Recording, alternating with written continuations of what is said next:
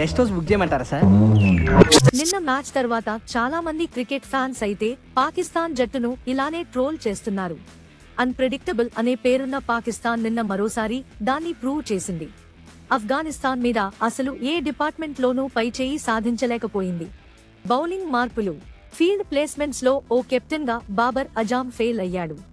ఇక స్పిన్కు స్వర్గధామం అని చెప్పుకునే చెన్నై పిచ్ పై పాకిస్తాన్ స్పిన్నర్లు తేలిపోయారు. ఎప్పుడూ ఉండే ఫీల్డింగ్ తప్పిదాలు సరేసరి ఇండియాతో మ్యాచ్ ముగిసిన తర్వాత ఆ జట్టు డైరెక్టర్ మికియార్ధర్ ఏమన్నాడో గుర్తుందిగా. స్టేడియంలో మ్యాచ్ జరుగుతుంటే దిల్ దిల్ పాకిస్తాన్ పాట పెద్దగా వినపడలేదని అది కూడా ప్రభావం చూపిందని అన్నాడు.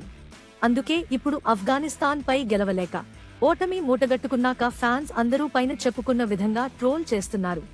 ఇప్పుడు కూడా చెన్నై స్టేడియంలో పాట ప్లే చేయకపోవడం వల్లే ఓడిపోయారా అంటూ మీమ్స్ వస్తున్నాయి. గెస్ట్ హౌస్ బుక్ చేయమంటారా సార్?